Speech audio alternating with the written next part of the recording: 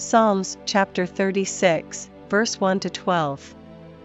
The transgression of the wicked saith within my heart that there is no fear of God before his eyes. For he flattereth himself in his own eyes, until his iniquity be found to be hateful. The words of his mouth are iniquity and deceit, he hath left off to be wise, and to do good.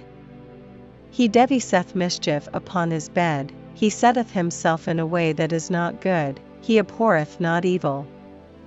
Thy mercy, O Lord, is in the heavens, and thy faithfulness reacheth unto the clouds.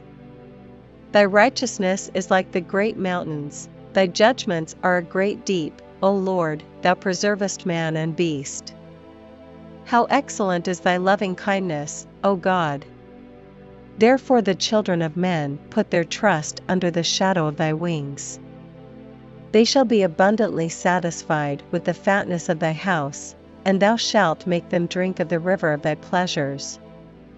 For with thee is the fountain of life, in thy light shall we see light. O continue thy loving kindness unto them that know thee, and thy righteousness to the upright in heart. Let not the foot of pride come against me, and let not the hand of the wicked remove me. There are the workers of iniquity fallen, they are cast down, and shall not be able to rise.